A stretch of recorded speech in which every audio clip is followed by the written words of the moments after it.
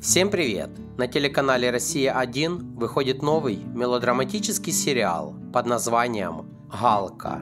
Медсестра Галина, которую все называют просто Галка, считала себя счастливым человеком до тех пор, пока не узнала тайну своего рождения. Оказывается, что те, кого она считала своими родителями, ей совсем не родные – Галка отчаянно бросается на поиски своей настоящей семьи, чтобы выяснить, как же на самом деле должна была сложиться ее судьба. Если вам понравилось видео такого формата, пишите комментарии, нам важно ваше мнение.